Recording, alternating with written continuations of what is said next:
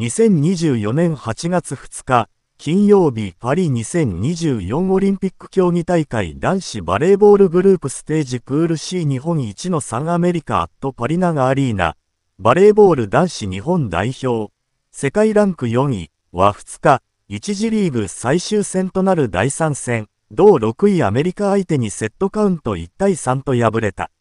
日本はアメリカに敗れはしたものの決勝トーナメント進出条件のグループ3位の成績上位2チーム以内、1勝利数、2ポイント、3セット率、4得点率が確定して準々決勝進出が決まり、メダル獲得へ希望をつないだ。